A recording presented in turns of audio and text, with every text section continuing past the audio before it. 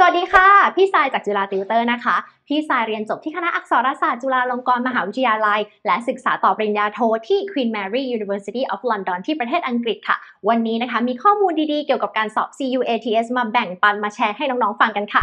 สำหรับการแต่งกายนะคะ เพื่อไปสอบ CUATS นะคะ ต้องบอกงี้ค่ะว่าใครที่เป็นนักเรียนนักศึกษาอยู่แล้วนะคะ สามารถจะใส่ชุดนักเรียนนักศึกษาไปได้เลย หรือมียูนิฟอร์มก็ใส่ไปได้เลยนะคะ ส่วนบุคคลทั่วไปเนี่ยที่ไม่ได้จะใส่ชุดยูนิฟอร์มหรือชุดนักเรียนนักศึกษาไปนะคะ สามารถที่จะแต่งตัวแบบสุภาพไปได้นะคะ เช่น ผู้ชายก็อยากจะให้ใส่เป็นเสื้อเชิ้ตกางเกงขายาวนะคะ สีแล้วก็แบบสุภาพค่ะ แล้วก็รองเท้าหุ้มส้นด้วยนะคะ